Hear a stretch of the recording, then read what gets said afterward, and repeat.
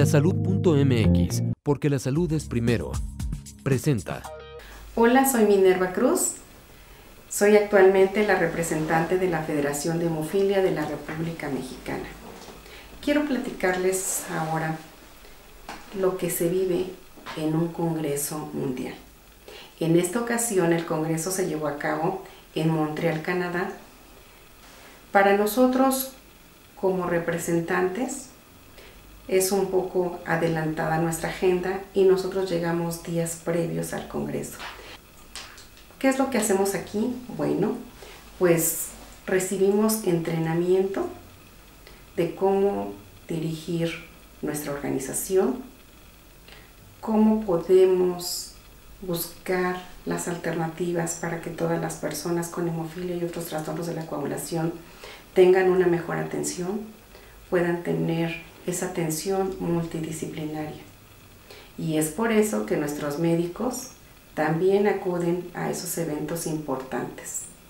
No solo al Congreso que se hace en esta ocasión, como fue en Montreal, sino en todas las actividades que se tienen internacionales y nacionales, con el objetivo de que estén mejor preparados para dar una atención a todos ustedes.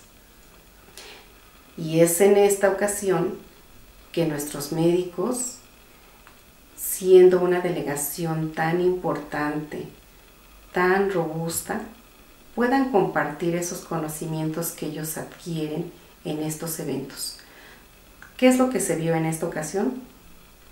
Pues los últimos avances que hay en tratamientos para hemofilia, para von Willebrand, las terapias de innovación que aun cuando todavía nos falta mucho para llegar a ellas, pues se busca que se pueda tener lo más pronto posible. Es por eso que el área médica es tan importante que acuda a estos eventos.